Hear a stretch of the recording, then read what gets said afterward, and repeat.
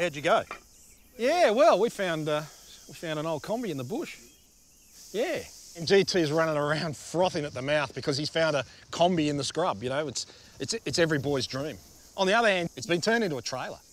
There's a lot of work to be done on this Kombi, so to make any money on it, we're going to have to get it for next to nothing. That Kombi's something that we're um, we could do something with. That sort of deserves to live again. So Yep. So the question is, um, what do you want for it?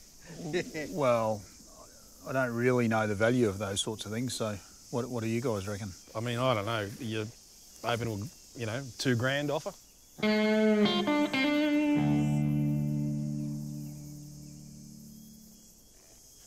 Yeah, oh, that'd be fine. Yeah? Yeah.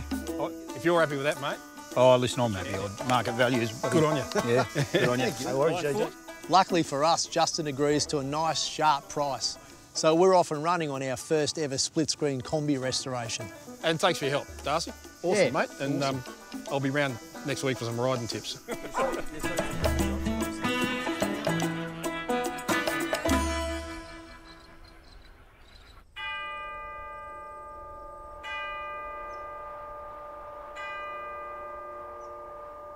Jeez, Dave. this is a plane crash onto a train wreck. So we get the Kombi back to the workshop, and in the cold light of day, it's like, what were we thinking? Generally, when you see something for the first time, you take an assessment of it.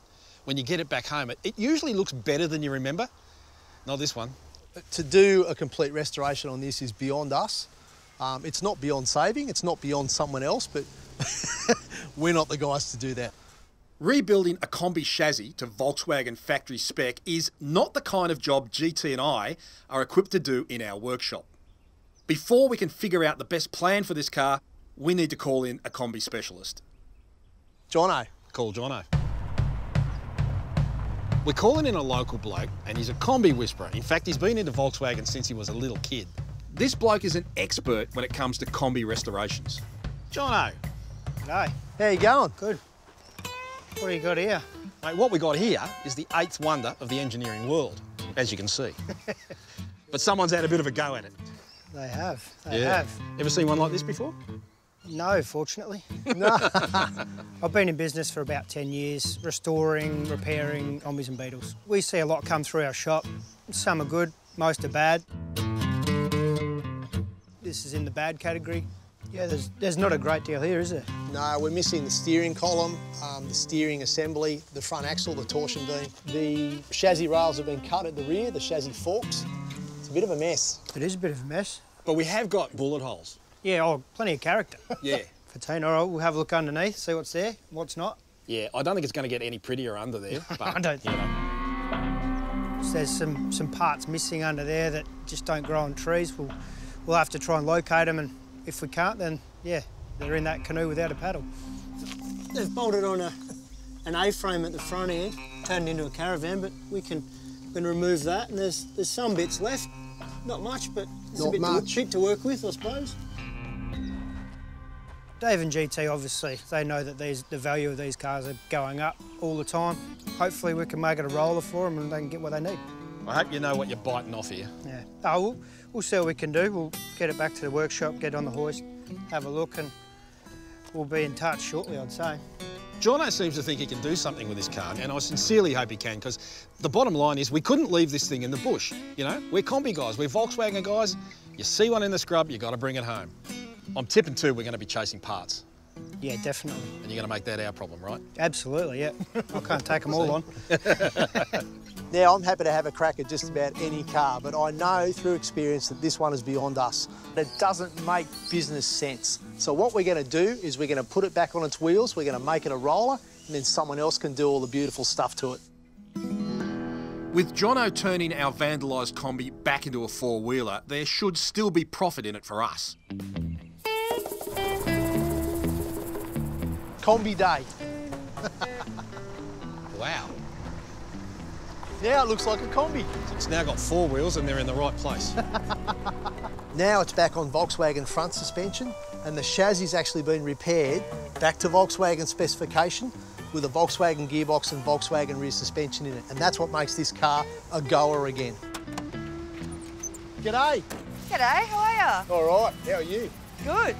I, I think I'd buy it. Yeah? It's got a great vision.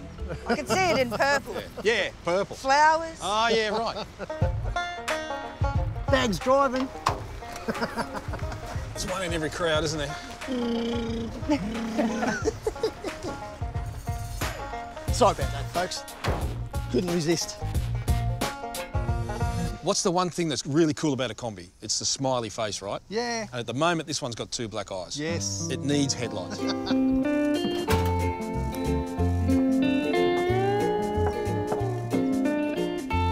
Hula Girl absolutely completes a Kombi. Uh, it's, it's the old surfing, the tiki bar, it's Hawaii. We've got to have one. That's perfect. See, now that is what I was talking about. Happy Kombi. Let's get it solved. This car has a much better sales potential now. It's on its wheels. We can move it on to someone else and they can do whatever they like with it. They can turn it into their dream Kombi.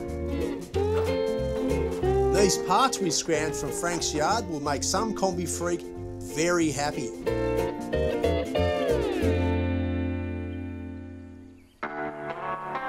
The Kombi's attracting some serious buyers online, which doesn't surprise me.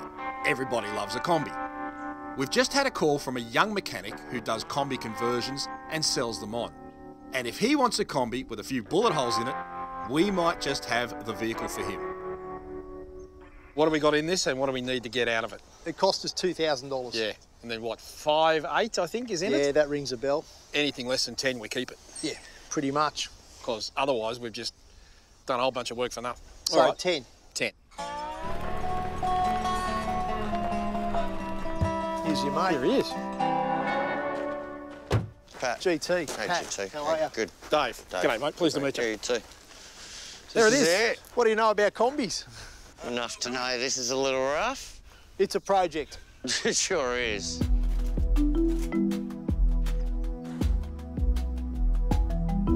Where's the rest of it? We don't make it too easy for you. Yeah, no.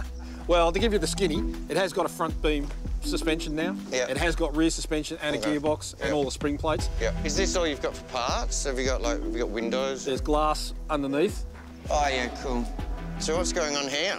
Well, you know what the Australian bush is like? we call it target practice. Right. If it moves, shoot it. If it doesn't move, shoot it too. So what are you asking?